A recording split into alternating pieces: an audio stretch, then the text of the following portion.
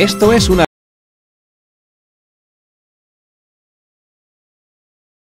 Vamos con la siguiente pregunta de Pilar, que está en Segovia, en España. ¿Qué aceite puede ayudar a la meditación y cuál es el más apropiado para calmar las emociones?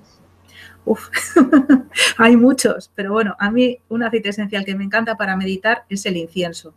Hay otros muchos más, como he dicho antes, pues la mirra, algunos utilizan la albahaca exótica o es que hay, hay, realmente muchos que se pueden utilizar, el nardo, la salvia. Yo sobre todo utilizo el incienso. A mí el aceite esencial de incienso me ayuda enseguida. Y si ya le pongo un poquito de rosa, me ayuda a meditar y a poder ver todo desde el corazón, desde el amor incondicional. A nivel emocional, la rosa o el geranio, que no he hablado mucho de él, pero bueno, el aceite esencial de geranio, puede ser eh, geranio de China o geranio de Egipto, esto es ya calidades o bourbon. Bueno, el, el aceite esencial de geranio nos ayuda mucho a equilibrar nuestras emociones y a estar bien. Lo mismo que el aceite esencial de naranja.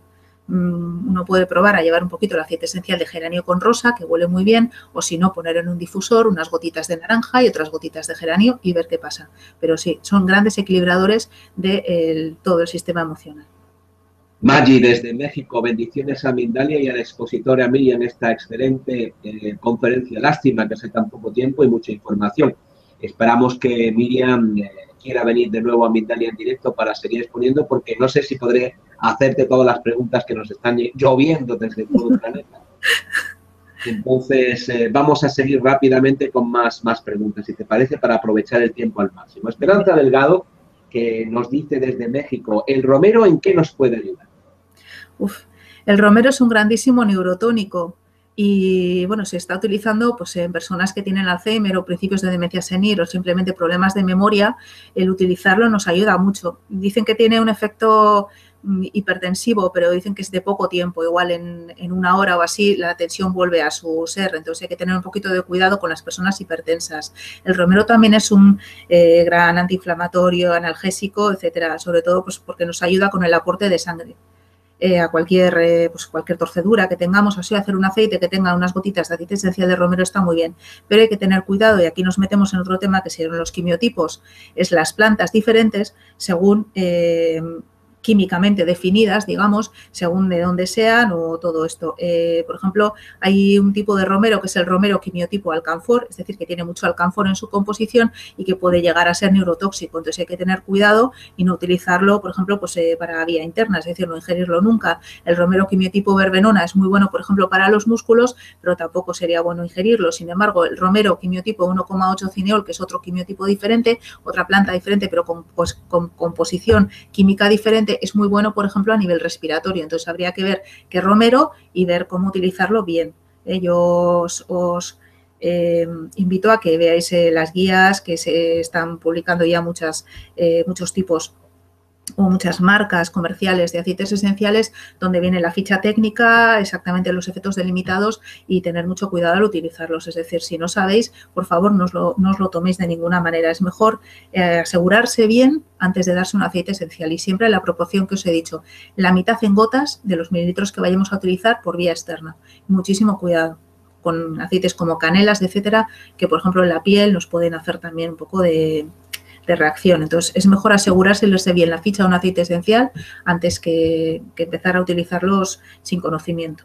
Silvia S., no sabemos su apellido, pone S., dice Miriam, cuanto sabes, gracias por compartirlo. Y antes de hacer la primera, la siguiente pregunta, me gustaría compartir con vosotros eh, la inquietud que tenemos porque pongáis, eh, por favor, vuestros eh, países a la hora de hacer preguntas. Hay gente que está haciendo preguntas y no nos, no nos pone el país desde donde lo hace. Es muy sencillo, simplemente haces tu pregunta y eh, pones luego el país o la provincia en caso de ser eh, España si quieres también decirnos la provincia para que la digamos por aquí de tu país, desde donde estás, pues muchísimo mejor. Queremos crear y creer en la comunidad y que esa comunidad se manifieste eh, físicamente, aunque estamos unidos de corazón en todo el planeta en estas conferencias y por el saber de cada uno de los conferenciantes que eh, comparte con todos nosotros, pues queremos también eh, estar unidos en, la, localización desde donde estáis para manifestar una vez más y por todas que no existen las fronteras, que todos somos uno y que estamos unidos en todo el planeta para una formación y una información a todos los niveles. Pues eh, Marian, Marian te pregunta, lo ha hecho varias veces, ¿qué aceite va bien para el dolor de rodilla? pues unos cuantos, pero sobre todo el que he dicho, el romero quimiotipo verbenona, eh, unas gotitas de romero, por ejemplo, en 5 o 10 mililitros de aceite vegetal, pues por ejemplo un aceite vegetal de sésamo, de almendras dulces, de avellanas, eh, le echamos un par de gotas o tres de aceite esencial de romero y nos lo damos en la rodilla. Y a nivel antiinflamatorio y analgésico va muy bien. Luego habría que ver si el dolor es de tipo artrósico, si ha habido alguna intervención quirúrgica o de dónde viene ese dolor para poder añadir otros aceites a la mezcla que sean más efectivos o que le den más eh, efecto. Bien, eh, Esperanza Delgado eh, nos dice desde México que ojalá vuelvas pronto a dar otra conferencia en Mindalia y te dice que Dios te bendiga. Gemma ha tenido una interrupción en su sesión y nos pregunta si podría verla de nuevo. Le respondemos que durante los próximos tres días estará la conferencia colgada en Mindela Televisión como si fuera directo y luego la retiraremos para editarla, ponerle las cabeceras correspondientes y ponerla como una conferencia más en las más de 3.000 conferencias que ahora mismo hay en Mindalia Televisión. Desde Chile nos dicen, estoy sufriendo mucha espasticidad por mi esclerosis múltiple. ¿Qué esencia me ayuda a disminuir estos espasmos y relajar y alguno que sirva para fortalecer musculatura, mil gracias. Y la pregunta la hace Mónica Isabel. Bueno, eh, como siempre digo, hay que ver cada caso en concreto para poder ayudar, ¿no? Pero un aceite que nos va a ayudar mucho a nivel tónico, como bien he dicho, es que es uno de los más, más versátiles ese respecto a nivel muscular, pues por ejemplo es el tomillo, o sea, el, romero acompañado de tomillo. El tomillo es muy, un aceite esencial muy potente que normalmente lo que hace es ayudar a, mejorar la espasticidad muscular, pero sí el romero es el que siempre nos va a ayudar a poder tener, digamos, un mayor control de los músculos. Pero claro, habría que ver el caso concreto y hacer un tratamiento diferente, puesto que hay otros aceites que se pueden utilizar.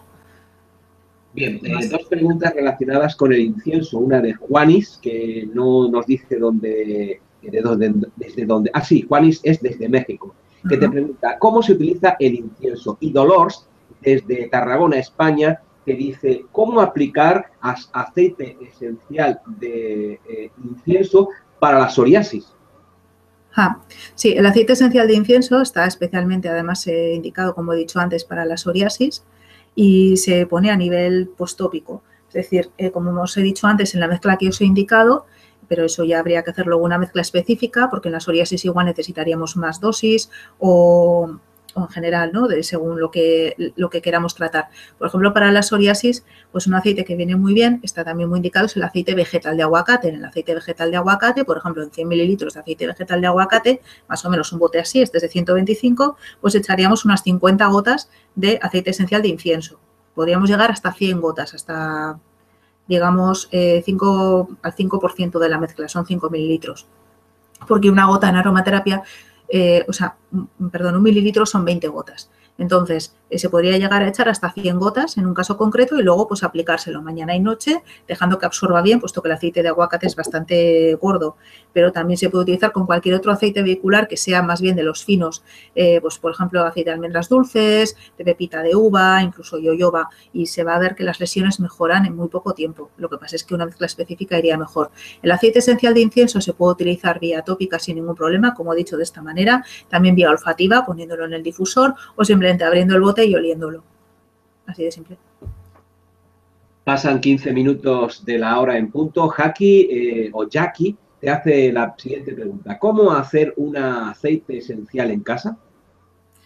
Eh, hacer un aceite esencial en casa es posible, pero la realidad es que como mucho conseguiríamos tener una gota o dos.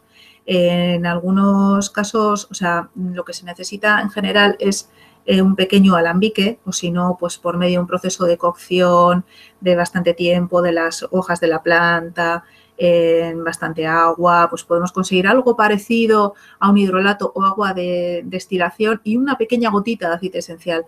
Eh, normalmente hay alambiques, pero resulta que como normalmente hace falta tanta cantidad de planta, hemos estado hablando de hasta tres toneladas de pétalos de rosa para poder conseguir un litro de aceite esencial, pues que suele ser bastante complicado. Lo que sí mm, hay alambiques de 10, 100 litros, que esos ya son más manejables, pero por lo menos en algunos países creo que de momento no ha cambiado la legislación. En España, por lo menos, que yo sepa, es la, legislación más cercana a mí que conozco, eh, todavía no se pueden tener alambiques de ciertos litros en casa, puesto que eh, estarían, digamos, indicados o se sospecharía que podrían ser utilizados para destilación ilegal. Entonces, eso hay que tener un poco cuidado, tener bastantes permisos y sí que tienen que ser unos alambiques, primero de acero inoxidable, conocer muy bien todo y, bueno, hay algunos, últimamente algunas formaciones para obtener aceites esenciales de forma, digamos, más casera, pero yo la verdad es que recomiendo que a la hora de utilizarlos, mmm, no hay nada mejor que lo que sea preparado igual en, un entorno más controlado a nivel pues, del laboratorio, etcétera, como se suelen hacer estos aceites. Al filo de esta, esta respuesta, Nerea desde Madrid, España, te pregunta, ¿alguna web donde comprar aceites esenciales? Hay muchas webs realmente, o sea, millones de ellas. Hay marcas, pues eso está en España, eh, ahora está Terpenic, Marnis, Pranarom, todas estas son marcas de aceites esenciales de confianza, Essential Aroms, hay muchísimas eh, a nivel nacional e internacional y entonces es un poco también ver eh, qué es lo que quiere uno como aceite esencial. Yo he tenido que a veces hacer algo llamado ensayo y error, mucho error y poco ensayo, porque por más que he comprado algunos aceites no eran nada de calidad, pero poco a poco todo esto se está regulando y algunas marcas de, pues, que ya son de, digamos, de confianza, como es una de ellas, eh, hay otra que es Florians, que se acaba de lanzar al mercado, eh, Marnis lleva mucho tiempo, desde los años 60, que es una marca creo que de Murcia, que tiene unos aceites esenciales, no tiene mucha cantidad, pero funcionan bien. Eh, pues eso, como os he dicho, Essential Aroms, Plan Arom, hay muchos, realmente hay muchas. Se trata también de ir viendo y de ir conociendo poco a poco, pues al, meternos en el mundo, en este mundo, ¿no? Yo muchas veces prefiero casi derivar a las personas a que si tienen cerca una herboristería de referencia, como aquí, bueno, en otros países no sé cómo será, pero en España sí que hay herbolarios, que ya tienen muchos aceites esenciales, muchas personas ya se están formando al respecto y, por, y saben eh, explicar de una forma clara, pues un poco la calidad de los aceites esenciales, etcétera, pues para la hora de elegir, ¿no? Yo a veces creo que es un poco la mejor vía. Nelea te da las gracias por esta, esta orientación y eh, Charo te dice, como siempre, es un regalo escucharte, guapísima, desde Euskadi, un beso.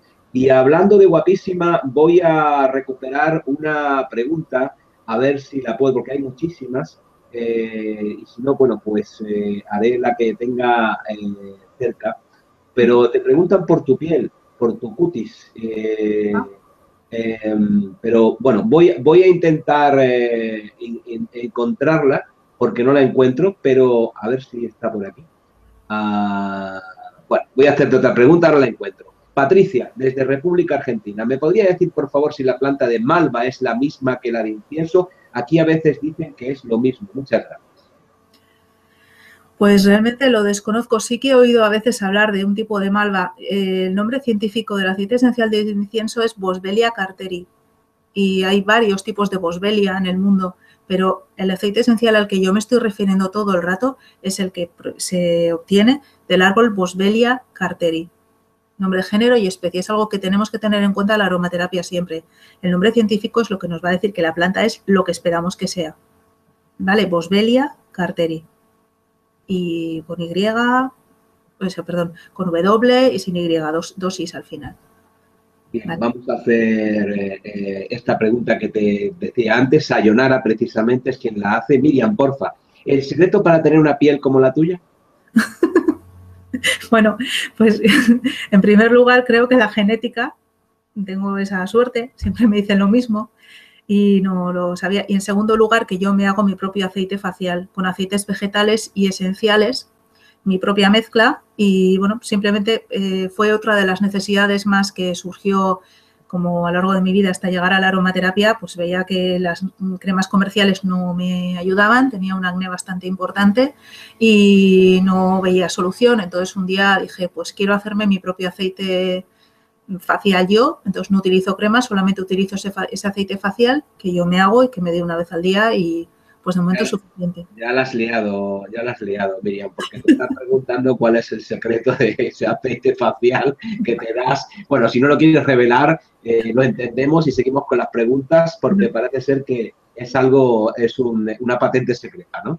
No, realmente es una mezcla, pero hay que hacer mezclas especiales para la piel de cada persona. Si os puedo decir que procuro poner un aceite esencial mm, prácticamente en todas mis mezclas, que es el aceite esencial de incienso, como ya os he dicho antes, un elixir de belleza pero eh, sí que hay otras mezclas que hay que adaptar tanto con aceites vegetales y esenciales. Yo también, de, otro de los productos que realizo pues, en consulta y así, pues eh, son aceites personalizados, tanto faciales como corporales, ¿no? Pues un poco porque me gusta este mundo y pues porque un día me enfadé con mi hermana que es esteticien y le dije, ala, a que yo también lo hago. Bueno, pues ahora ya las dos estamos aprendiendo la una de la otra, entonces pues digamos que, que ha sido muy enriquecedor, pero sí que es cierto que que bueno, que hay que ver cada persona qué tipo de piel tiene y qué aceites le pueden venir bien. Hay además mucha literatura al respecto y realmente es enriquecedor. Yo de hecho hace años que no utilizo cremas para la cara. Como la medicina integrativa, cosmética integrativa, entre tu hermana y tú, ¿no? ¿Perdón? Sí. Que digo como la medicina integrativa, cosmética integrativa. Eso, eso es, enfermería integrativa, cosmética integrativa, todo integrativo. Aquí hay que, desde Águilas, España. Soy argentina, Clara, y la malva no es lo mismo que el incienso. Aporta ¿eh? Muchas gracias. Desde Badajoz, Elisa, en España, ¿sería perjudicial o contraproducente usar las colonias, geles, cremas, hidratantes, etcétera, comerciales?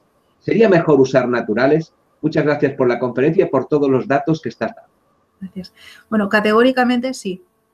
Cuanto más natural, mejor. Uno de mis profesores decía, una de mis profesoras, eh, decía que no te des nada en la piel que no te puedas comer, puesto que absorbemos el 50% de lo que nos damos en la piel. Entonces, y todo eso va a sangre y también va al hígado al final, ¿eh? no en una primera vía, pero sí en una segunda. El hígado es el gran detoxificador del cuerpo. Pero sí que es cierto que estamos utilizando, y eso es otra de las cosas, pero tendría, necesitaría otra hora, otras horas más para poder explicar y hablar del tema, eh, los químicos, cómo nos están afectando. De hecho, creo que en Mindalia hay una, una, conferencia al respecto de, de una persona que en Bioterra de Madrid, puede ser, me dio un, lo estuve viendo, está muy bien, sobre los químicos que se están utilizando, pero hace falta mucho tiempo. Yo, como opción personal, os puedo decir que no utilizo desodorante como tal, sino que uso sobre todo mineral de alumbre y algunas otras cosas o, eh, desodorantes que me hago yo. Yo Yolanda te pregunta de nuevo, que no lo ha oído muy bien, ¿cuál es el aceite que sirve de anestésico? Vale el Ilan Ilan o Cananga odorata, que es el que hemos dicho, el aceite esencial que es muy afrodisíaco y que se pone en Tailandia, en otros países, eh, encima del tálamo nupcial, etcétera. Ese es el que es un anestésico local muy importante. Eh, Jackie desde Ecuador eh, pregunta de nuevo, ya lo has respondido, ¿cómo se preparan aceites esenciales en casa? ¿Querrías apuntar algo más, Miriam? Eh, yo creo que la opción primero es conocerlos bien desde fuera y luego ya ver si uno se los puede ir preparando porque eh, insisto en que la normativa respecto a los alambiques está un poquito dura, por lo menos en este país, en España, y entonces no conozco tanto el tema. Sí que sé que se dan formaciones de cómo hacer los aceites esenciales, cómo conocer las plantas. Últimamente, de hecho, creo que hay un máster a distancia de Enrique San Pascuñana, que también es profesor mío, y, que está creo que bastante bien, pero yo todavía la verdad es que he preferido aprender sobre ellos antes de ponerme a hacerlos. Sí que se pueden hacer aceites macerados, eso sí, poner, como he dicho antes, y van a tener siempre un poquito del aceite esencial de la planta, pero eh, sería algo así. Estos son pétalos de rosa que cubrimos hasta arriba de aceite dejamos macerar durante un tiempo, que le dé el sol, etcétera, se gira, es un proceso y al final aquí sí que sale el aceite vegetal que hemos metido impregnado en, rosa y hay parte de aceite esencial, pero no es un aceite esencial como tal, es un oleado o macerado en aceite. Bien, Baby, Baby desde Florida, en Estados Unidos, te pregunta, ¿qué aceite me puede recomendar para la frigidez sexual y la resequedad vaginal? Vale, eh, la realidad es que habría que hacer eh, una, un lubricante personalizado, pero uno de los aceites como pista es la salvia esclarea eh, o salvia romana, este aceite es estrógeno mimético, es decir, da ayuda a que los estrógenos, a que haya más estrógenos en el cuerpo y mezclado con el aceite vegetal de coco, que es un grandísimo lubricante, puede ayudar a que esa resequedad vaya desapareciendo. Además de utilizar como no el que hemos dicho que es afrodisíaco porque ayuda mucho a que los estrógenos, los estrógenos que hay eh, vayan, digamos, trabajando un poco más, eh, el jazmín y la rosa. Y ya nos queda un afrodisíaco maravilloso. Proporciones, poquitas gotas, por favor. Y cuidado con el aceite de coco. El aceite de coco se queda sólido a 24, hasta los 24 grados de temperatura. A partir de los 24 grados se vuelve líquido y no huele a coco, no huele a nada. ¿Vale? Os lo digo porque que nos mm, den gato por libre. Hasta ahí puedo leer. Eh, bueno, eh, eh, esperamos que podamos leer entre líneas, porque hay aceites de coco que huelen mucho a coco. Ya, pues no. Esa esencia no es, no es coco. Vale, Esther Flanagan desde... Perdona, repite lo que no te hemos escuchado. El coco no huele. El aceite de coco no huele. Vale. Esther Flanagan, Madrid, España, dice, soy quiromasajista y utilizo la lavanda Ilan, Ilan con aceite de almendras. ¿Podrías darme algunas recomendaciones de mezclas para los masajes relajantes? Mil gracias. Pues el, aceite que estás utilizando está muy bien para, para un masaje relajante. Si también se le pone azar, perfecto también. Ayuda eh, naranja, mandarina, manzanilla, cualquiera de ellos. ¿Cierto? Miquel desde, a ver, vamos a ver, Miquel eh, desde Pamplona eh, te pregunta si das eh, cursos a personal sanitario y no, perdón, cursos a personal no sanitario o público en general. Sí, doy cursos personalizados, también doy cursos con la Escuela de Aromaterapia Clásica y Contemporánea pues, por varios puntos de España. últimamente estamos empezando a probar poder dar cursos online y también en el Instituto ISARPE de Ciencias de la Intuición y Terapéuticas, que es eh, por medio de los que del cual he conocido a Mindalia y que bueno que empezamos un curso en enero concretamente aquí en San Sebastián, que es una opción también muy buena en el que vamos a ver muchas vertientes muy interesantes de los aceites esenciales. Recordaros también a todos eh, vosotros y a Miriam, por si quiere aprovechar la coyuntura, que Mindalia eh, televisión está preparando toda una plataforma, una poderosa plataforma para dar cursos online a todo el planeta con los conferenciantes que quieran darlos por módulos y que a partir de primeros de este nuevo año que comienza estaremos ya con algunos cursos online. Así que, Miriam, si te quieres apuntar, bienvenida seas también, podremos hablar. Sunil, desde al Perú, eh, a, Bancay, en Perú, dice que eres una sabia y te felicita por la conferencia.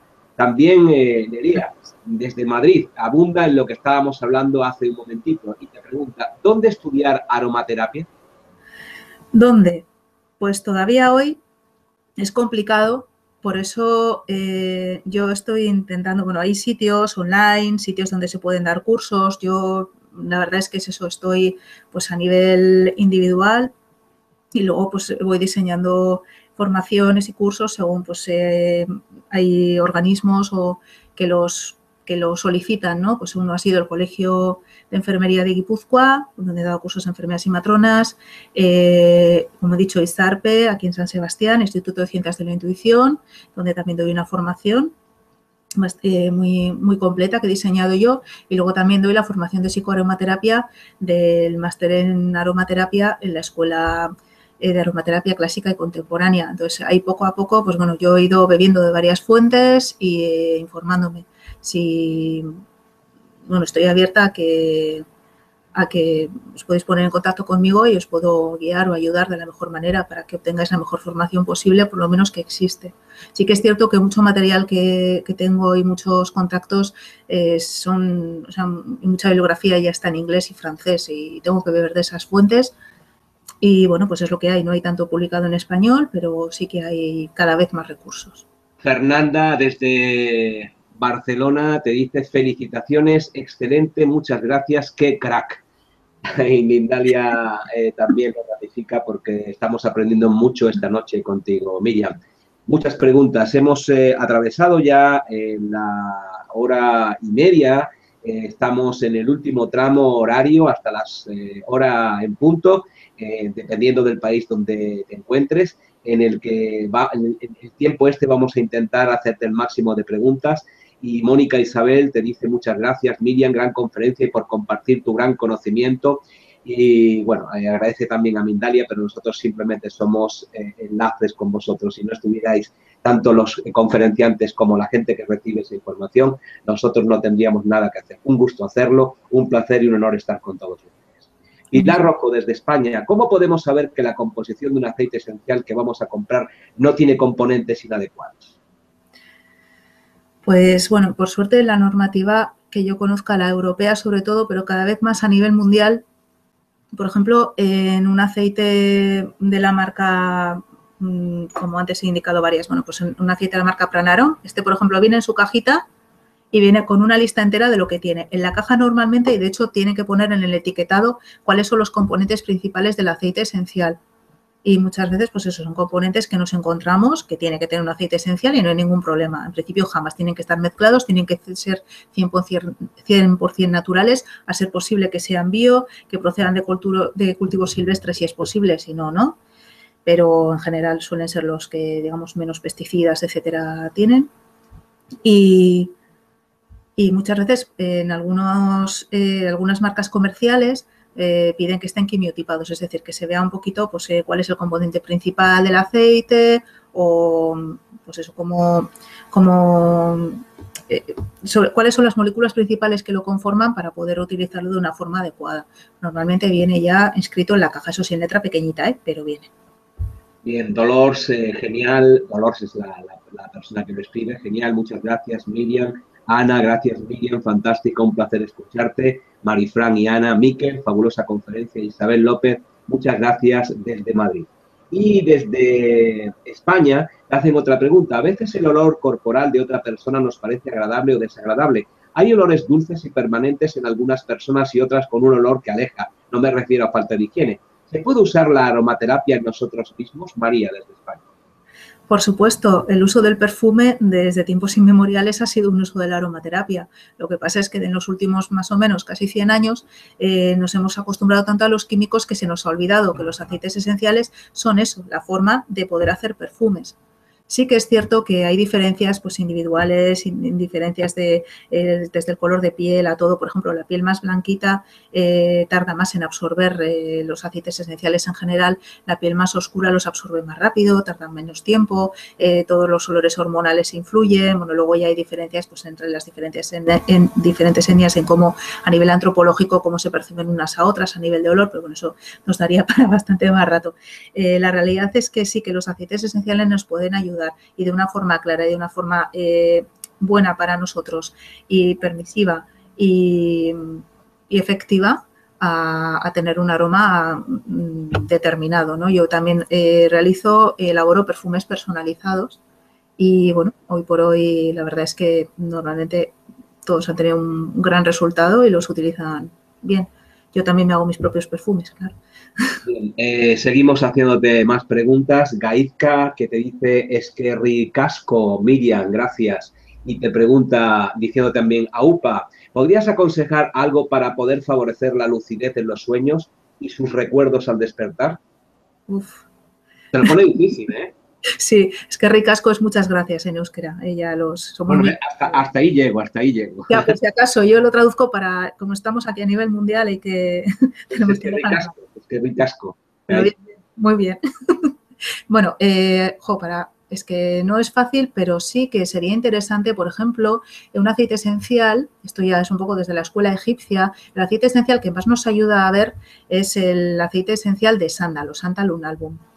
Es un árbol, el árbol del sándalo que viene también de la India, que ahora está también en peligro de extinción, hay que tener cuidado, es carísimo, etcétera, pero bueno, se utiliza bastante y también en perfumería hay sándalo blanco y en su defecto el sándalo amarillo, que es de la familia, eh, pues también nos puede ayudar. Eh, por ejemplo, ponernos unas gotas de sándalo en el tercer ojo, puede estar mezclado con yoyoba o directo. Yo normalmente los tengo diluidos en yoyoba para que me duren más tiempo y todo eso y porque bueno, los aceites egipcios suelen venir ya diluidos en este aceite que es muy similar a las ceramidas de la piel, no se oxida, entonces podemos tener aceite, o sea, o perfume o aceite esencial diluido en secula seculorum, aparte de que la caducidad de los aceites esenciales es muy larga, pero bueno, eh, tardan eh, se dura muchísimo tiempo, bueno, pues darnos aquí eh, unas gotitas de aceite esencial de sándalo antes de dormir nos puede ayudar a tener ese tipo de sueños, sueños lúcidos, porque nos ayuda a ver realmente, ¿eh? a ver hacia el interior, etcétera, no solamente a estimular lo que diríamos el tercer ojo, porque el tercer ojo, mm, según muchas escuelas, no va hacia afuera, va hacia adentro, hacia el interior y poder ver nuestro, nuestro yo superior, digamos. Bueno, esta pregunta es de prácticamente de ABC de la aromaterapia, supongo. Es una pregunta también un tanto, bueno, pues graciosa si se le ve eh, el humor. ¿Qué aceites son buenos para combatir el olor en los pies y los zapatos desde Marbella, en España? Muy bien. Eh, hay dos, sobre todo si tienen que ver con el olor producido por uno por hongos y el otro por el exceso de secreción a nivel hormonal, que también, hay, también suele dar problemas, sobre todo en hombres. Eh, yo juntaría el árbol del té, en el caso de que haya algún pequeño pues, hongo que se produce o así, o algún olor fuerte, junto con la salvia esclarea, que nos va a ayudar a regular la secreción hormonal pondría, por ejemplo, 10, 20 gotas de estos dos aceites en total, 10 de uno y 10 de otro, en 30 mililitros de aceite vegetal, le hace almendras dulces o cualquier otro que, o el de oliva, simplemente de primera presión en frío siempre. Siempre que hablo de aceites vegetales son de primera presión en frío y darlo pues a la mañana o a la noche o antes de dormir a la noche y los resultados son espectaculares. Yolanda, desde Albacete, en España, te dice, buenas noches, por favor, ¿alguna mezcla para las úlceras del pie diabético para curarlas y que no vuelvan? Bueno, eh, las úlceras del pie diabético son importantes porque los, el tratamiento en úlceras que se está dando sobre todo en enfermería pues es, importante. Uno de los aceites que yo utilizaría mucho, con mucho cuidado también, ¿eh? hay que tener eh, mucho cuidado, utilizaría tomillo y mirra en un aceite Tomillo y mirra, sobre todo la mirra igual un par de gotas directamente. Pero habría que ver cómo está la úlcera, en qué estado está, todo. O sea, no habría que tener cuidado. ¿Eh? La mirra nos puede ayudar en algunas heridas más bien superficiales, pero si estamos hablando de un pie diabético, habría que ver otras cosas. Si hay pulso, cómo está la úlcera, cómo. Entonces, eso ya tendría que ser una, consulta eh, con un aromaterapeuta de, referencia para, para que pudiera elaborar la mezcla adecuada hay, algunas, otras personas interesadas también por, este tipo de aceites para los diabéticos.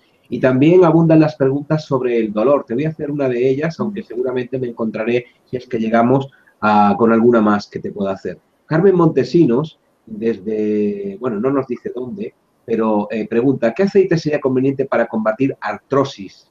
Mm.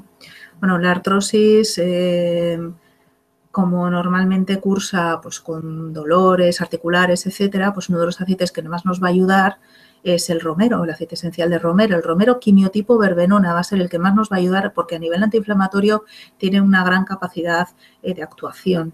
Entonces, si por ejemplo nos podemos preparar un aceite de, masaje, pues con un aceite que se absorba fácilmente, pues bueno, aunque también hay un aceite vegetal que está muy bien, que es el aceite vegetal de calófilo, que tiene eh, una parte, incluso aceite esencial de calófilo, es la planta macerada, se lo tiene en la casa Pranarom. En el aceite vegetal de calófilo podemos echar pues en 100 mililitros, bueno, aquí por ejemplo este bote que es de 50 mililitros, le podemos echar... Eh, pues unas 25 o 30 gotas, y aproximadamente algo más de la regla que he puesto, algo más de la mitad, y con esto aplicarnos, pues por ejemplo, en las rodillas o la zona que nos moleste, a mañana y noche. Vamos a ver que los beneficios son muy buenos. Más preguntas desde Córdoba, España. Miriam, gracias por compartir tanto. ¿Qué consejos daría, darías a alguien que se inicie en la aromaterapia? ¿Alguien que se inicie en la aromaterapia? ¿Qué consejos le darías? Gracias. Bueno, en primer lugar, eh, lo primero, primero de todo es eh,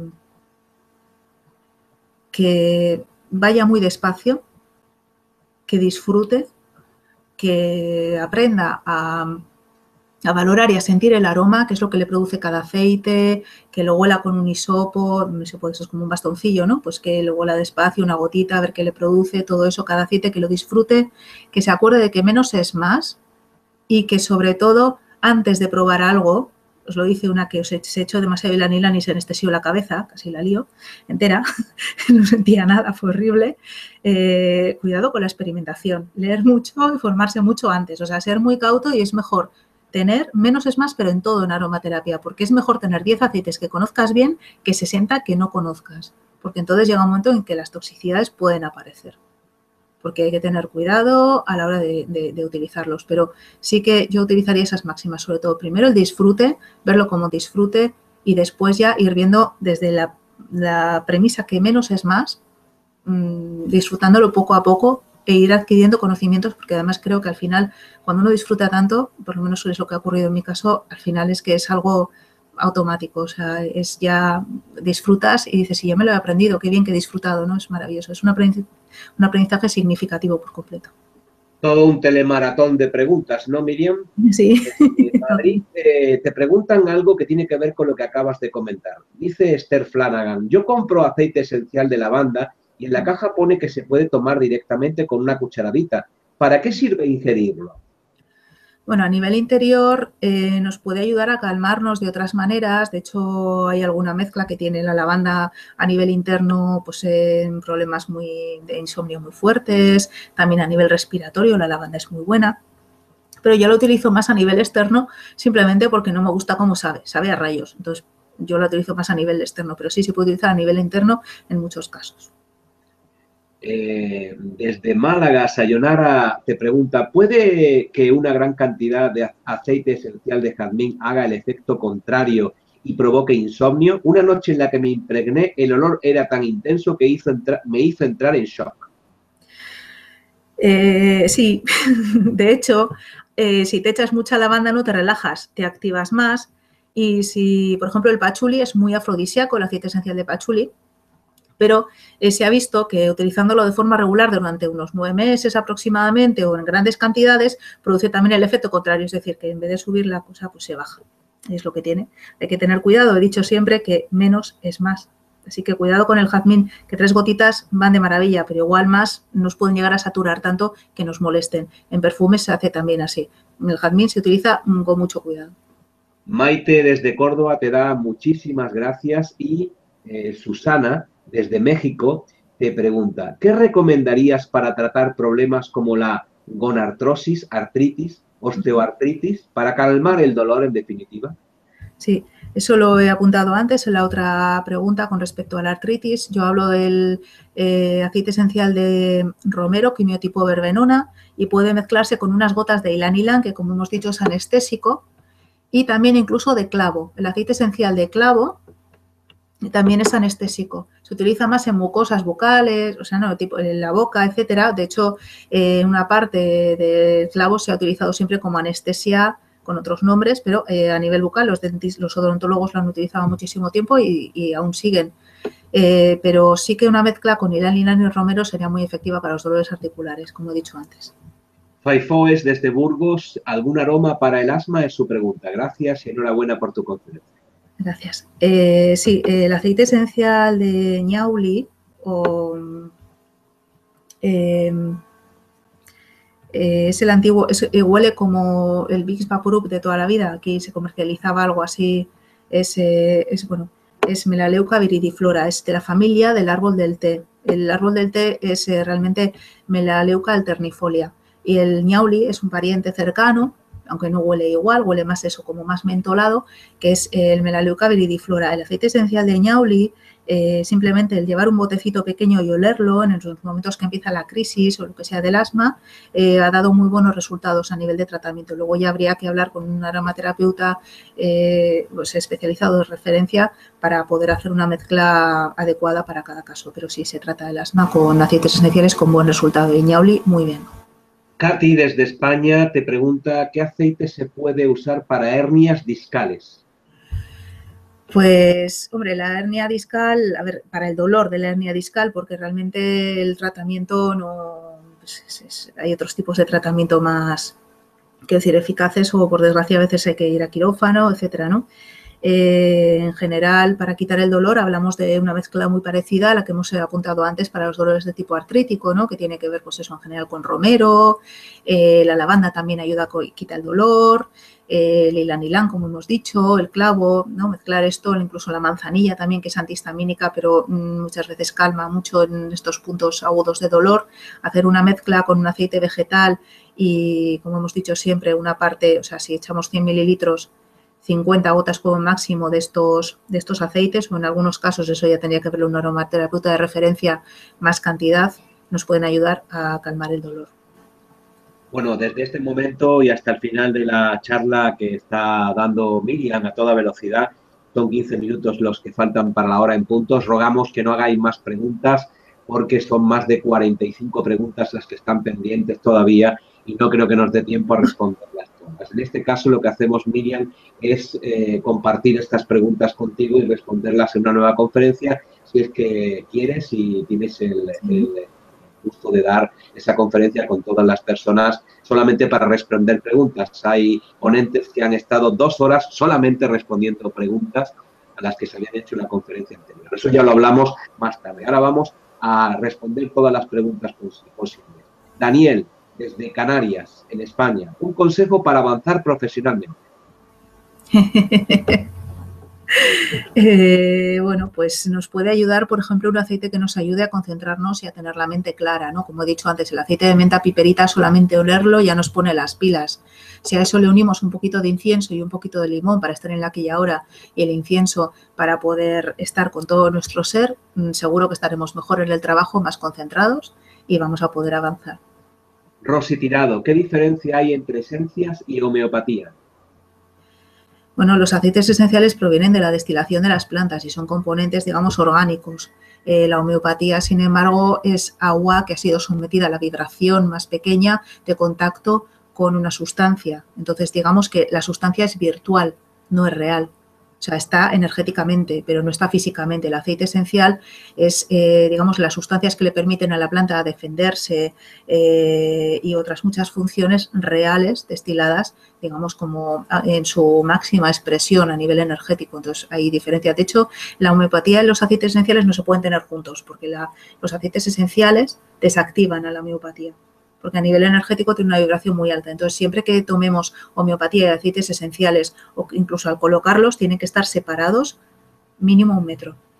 Y si los tomamos, mínimo una hora entre tomar una cosa y tomar la otra. Qué interesante. Hoy las palabras que más abundan en el chat de Mindalia son gracias y guapa. María del Mar, eh, desde Sevilla, en España, dice, hola, llevo muletas y me duelen mucho los hombros y codos. ¿Qué aceite puedo ponerme? Bueno, pues eh, hablamos de, lo mismo, ¿no? Eh, este tipo de dolores artrósicos, de dolores musculares, pues van muy, muy, muy bien con el romero, eh, con el ilanilán, el clavo, la manzanilla. El clavo yo lo tendría cuidado al darlo en vía externa, yo prefiero utilizar el ilanilán. la lavanda, incluso la mirra también nos va a ayudar es que al final es un poco repetir lo mismo, ¿no? Pero es bueno porque así el mensaje llega, llega varias veces y, llega más. Y nos vamos a Costa Rica con Cindy, que te da las gracias y te pregunta si podrías recomendarle algo para las manchas en la cara. Sí, para las manchas en la cara, el aceite esencial de semilla de zanahoria es espectacular. Hay que mezclarlo con otro. Yo lo mezclaría con aceite vegetal de rosa mosqueta, que también ayuda para las manchas, manchas de edad y ese tipo de imperfecciones. Y, por ejemplo, pues eso, en 50 mililitros de aceite vegetal de rosa mosqueta, pues yo echaría 25 gotas de aceite esencial de zanahoria semillas, Daucus carota, carota perdón, de semillas. ¿Vale? Porque también hay de hoja que es diferente, es el de semillas va muy bien y ayuda mucho con las manchas de la piel. Irma de la República Argentina te pregunta, abundando sobre la anterior pregunta, ¿qué es recomendable para esas manchas blanquecinas en la piel, en este caso para niños? Lo mismo, yo le daría aceite vegetal de rosa mosqueta y ya está. Igual unas gotitas, dos o tres de lavanda. Ya está. bueno, en Argentina la rosa mosqueta abunda por doquier. Sí, bueno, sí. en la Patagonia al menos, ¿no? Sí, sí, lo que pasa es que ahora digamos que han subido los precios porque hay dos compañías que han cogido el control y bueno, eso ya son cosas internas de, distribuidores y proveedores, pero sí, sí que es cierto que abunda, pero últimamente le han subido el precio por lo menos aquí al llegar en España. Ojalá que tengan, bueno, ojalá todo el mundo tuviera acceso a ese y a otros muchos tesoros de la naturaleza de forma lo más barata posible, de verdad, y, porque los beneficios son muy importantes. Joana, desde Mallorca, en España te pregunta si para calmar los perros nerviosos, ¿qué aceite iría bien y cómo aplicarlo en estos casos? ¿Para calmarlos? Perdón. Para calmar a los perros nerviosos. A los perros, ah, sí. Eh, bueno, eh, se ha visto, depende si tienen componente de agresividad o no, eh, o es miedo. Mm, hemos hecho algunas mezclas para, he hecho algunas mezclas para mm, consultas veterinarias, etcétera Y mm, va muy bien tanto la lavanda como la mandarina, igual que a los niños. Lo que les, lo que les deja a los niños tranquilos eh, también vale para los perritos. Igual, igual. Es una cosa universal lo de los aceites. Ana, desde... ¿eh? Perdón, la mezcla puesta en difusor, con cuidado, no saturar, porque el, perro tiene un olfato increíble, entonces hay que tener, en lugar de utilizar, perdón, 20 ¿eh? gotas, 3, mm, 4 máximo, ¿vale? No nos pasemos, pero sí, eh, son efectivos. Disculpa. Seguimos. Oh, tú. Ana, desde San Sebastián, dice, ¿qué opinas del copla? No sé si acierto, pero pone textualmente del copla. No sé si es copla o copra. Copla pone aquí. En todo caso, eh, si lo ha escrito mal no lo sabemos, eh, la, pasamos a otra pregunta, ¿de acuerdo? Sí. Ana está todavía en la sala. Eh, sí, que aclare qué es lo que quiere decir porque no... Exacto. Bien, pues vamos con otra pregunta. hola Miriam, y esta me viene muy bien a mí con este enfriamiento que tengo encima. ¿Qué aceite usar para los ataques de... Ah, no, de gota, creía que era de, gripe o de, o de tos. Los ataques de gota. Gracias desde Madrid. Bueno, eh, hay algunos aceites que limpian la sangre y arrastran mucho, que son además eh, mm, buenos para, para limpiar el hígado, uno de ellos es el aceite esencial de limón, que como he dicho antes, lo mismo que para adelgazar o para perder líquidos, tomar un par de gotitas con aceite vegetal puede funcionar, pero para el ácido úrico así directamente depende si hay tofos o no. O sea, digamos que el limón arrastra un montón de impurezas y tóxicos que lleva a la sangre y que por medio del hígado las elimina. Pero claro, habría que ver si es un ataque agudo o es algo crónico y habría que hacer un tratamiento personalizado. Entonces, mm, eso ya habría que verlo con el aromaterapeuta de referencia. No sabes cómo agradecen las personas que contesten sus preguntas. Gracias, gracias, gracias. Fantástica conferencia desde Tarragona, España. Gracias, se te dice por responder a, su pregunta. Y sigue la gente preguntando sobre dolores musculares. Ya se han dicho varias eh, respuestas en torno a eso. Vamos a intentar ir hacia otros derroteros. Eh, eh, babies. Hola, entre tarde, entre tarde, pero algo cogí y me parece valiosa toda esta información. ¿Qué eh, aceite me puedes recomendar para la frigidez? Eso ya se hizo esa pregunta, ¿verdad? Eh, sí, nos puede, bueno, pero por ejemplo, pues el aceite esencial de jazmín. Vale, eh, aquí me está aclarando Ana desde San Sebastián, disculpad, dice, queríamos poner copal y ruda. Ah. copal y ruda. Está Ana en la sala. Bueno, a ver, el copal y, y la ruda se utilizan mucho pues en pues para limpiar las malas energías, quemadas, etcétera, ¿no? Es como más se utiliza. Eh, yo no tengo aceite esencial de copal, sí que he tenido aceite esencial de ruda, pero yo no lo suelo utilizar porque es muy tóxico, ni siquiera en contacto con la piel. O sea, una cosa es que ponga igual alguna gotita en el difusor cuando digamos que la consulta está muy, con mucha mezcla de energías, pero en general procuro no utilizar la ruda, excepto en algunos casos excepcionales y sí que el aceite esencial de ruda todavía se produce, pero está muy controlado. Yo tendría mucho cuidado a la hora de utilizarlo vía tópica o así, porque realmente es bastante tóxico a todos los niveles.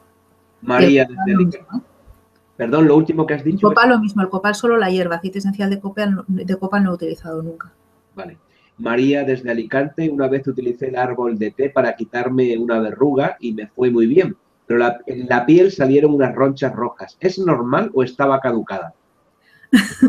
Hombre, normalmente tardan muchos años en caducarse, un mínimo de 5 y hay aceites que mejoran como los vinos con el tiempo, excepto los cítricos que suelen tener una caducidad de unos 3 años o así, pero más que caducarse les va un poquito, digamos, la fuerza, ¿no? El aroma se empiezan a evaporar.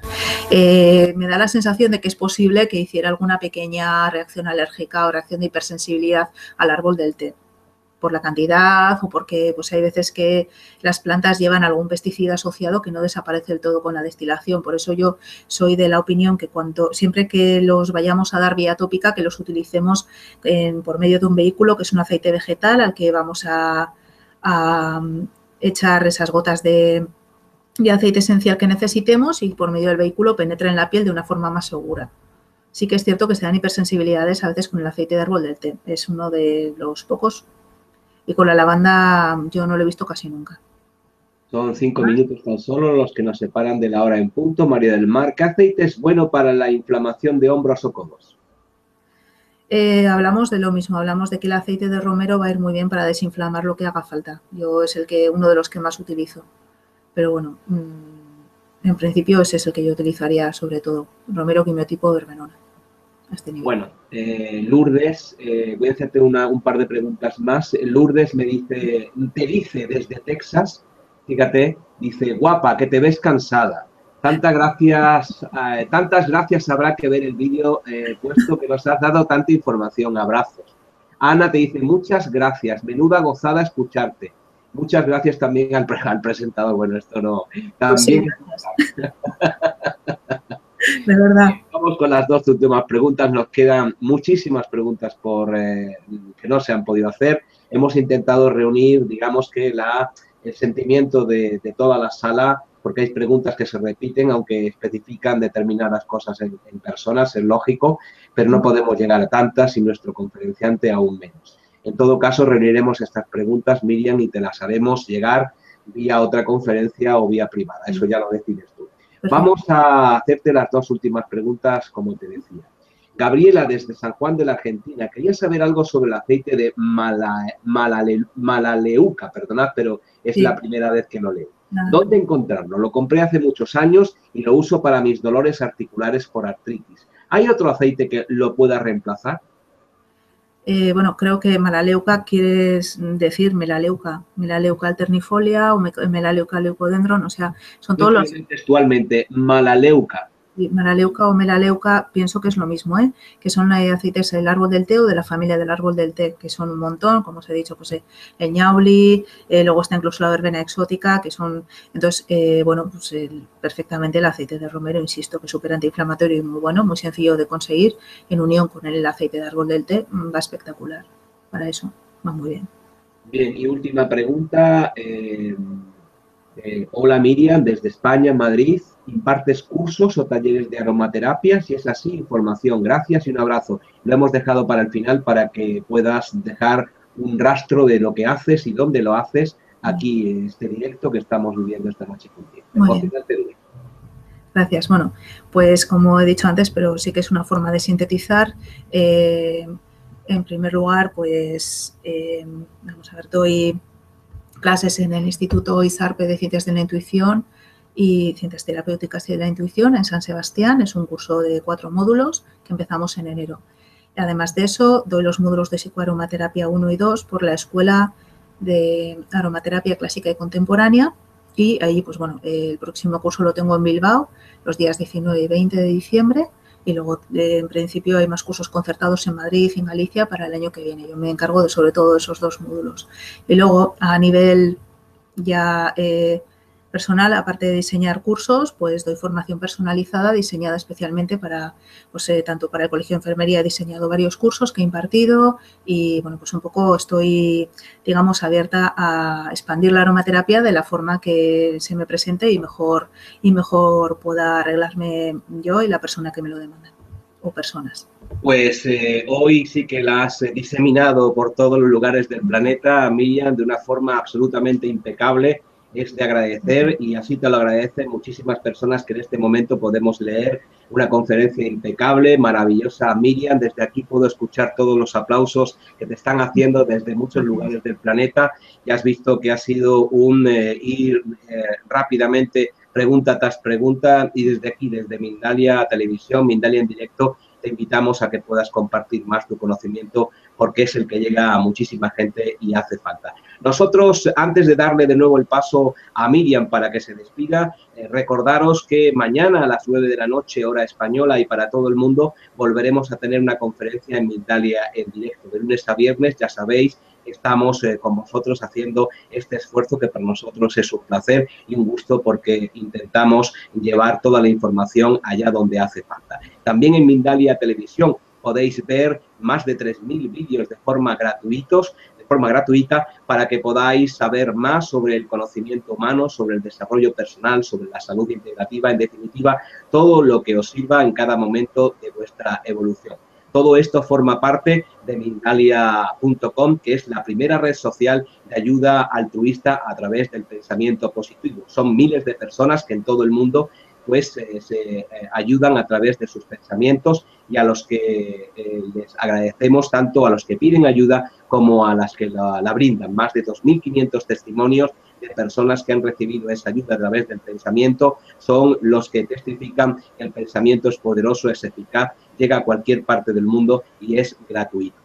Y todo el equipo de Mindalia.com, Mindalia Televisión y Mindalia en directo te va a dar las buenas noches, buenas tardes allá donde te encuentres. También recordarte que puedes colaborar con Mindalia de cualquiera de las maneras para poder hacerlo, pues eh, entra en Mindalia en cualquiera de sus apartados o manda un correo a contacto arroba mindalia.com. Desde una aportación económica hasta una aportación personal son siempre bienvenidas para que podamos avanzar en, este, en esta misión que es eh, dar información, información útil, información que se pueda utilizar en cualquier momento y en cualquier lugar. Últimos minutos para nuestra invitada de hoy, Miriam, que se va a despedir de todos Miriam, adelante.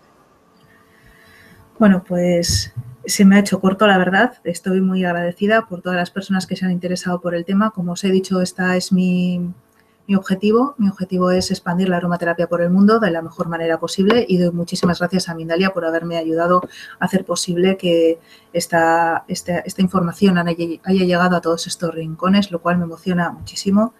Eh, también recordaros que para, por si queréis más información, ya en, el vídeo de la conferencia aparecen mis, páginas web en las cuales están los correos electrónicos y para cualquier información y que veáis mejor qué cursos imparto, etcétera, pues toda la información la tenéis en, estas páginas web. De nuevo, pues dar las gracias, me siento muy agradecida, muy feliz y creo que, bueno, pues que, que es un verdadero regalo lo que hoy he podido compartir con vosotros. Muchas gracias. Gracias por compartirlo con nosotros y gracias a todos los que han estado en esta sala mundial, planetaria, sala virtual, pero eh, hecha un corazón entre todos, por asistir a esta interesantísima conferencia que ha impartido hoy Miriam sobre aromaterapia. Nos volvemos a encontrar en Mindalia en directo aquí mañana, Dios mediante. Gracias a todos.